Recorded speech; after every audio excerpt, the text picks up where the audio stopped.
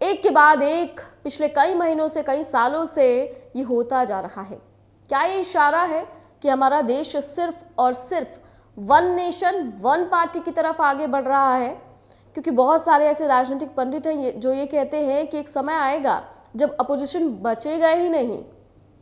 यानी कि one nation, one party.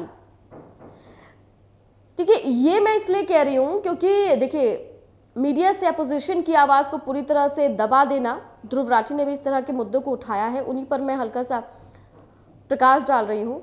विधायकों की खरीद फरोख्त हॉर्स ट्रेडिंग जिसका ज़िक्र वो कर रहे हैं स्टेट गवर्नमेंट से पावर छीन लेना नए नए कानूनों को बनाकर इन्वेस्टिगेशन एजेंसीज का वेपनाइजेशन करना, यानी कि जो इन्वेस्टिगेशन एजेंसी है, उनको हथियार के तौर पर इस्तेमाल करना अपोजिशन पर। ईडी सीबीआई का प्रेशर बनाकर अपोजिशन के नेताओं को जेल भेज देना जैसा कि हुआ भी है। हालाँकि इसमें कितनी सच्चाई है, अभी कहना जल्दबाजी होगी क्योंकि अभी सुप्रीम कोर्ट बैठा है।